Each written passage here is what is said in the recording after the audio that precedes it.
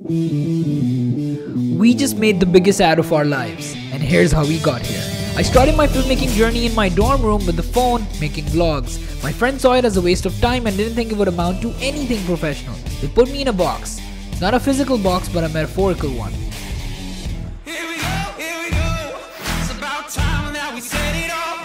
Fun, but just a hobby.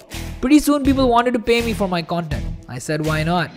What started as a hobby became a full time passion, and before I knew it, I was making content for every major e commerce brand of Pakistan. I broke the box my friends made for me. Everyone knew our content even if they didn't know our name. Our style became synonymous with Pakistani e commerce. I expanded a team, made it a full scale operation that makes more than 25 commercials every month.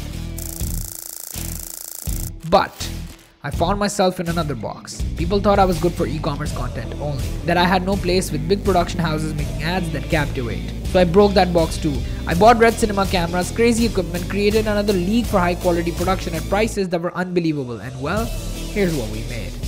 Things were great, but as I broke one box, I saw another one taking its place.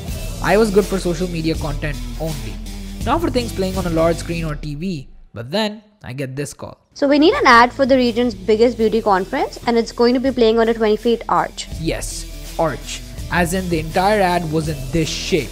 It was incredibly difficult but also my chance for putting my content on a huge stage. So I said, let's break this box too.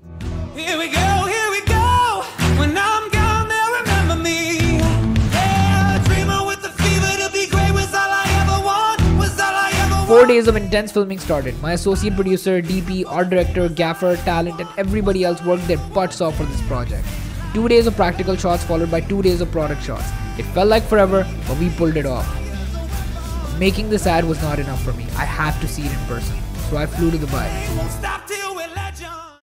Alright, so we arrived in Dubai last night. See our video in its full glory at the conference. So let's go and check it out. Bang, bang, won't stop till we're legends.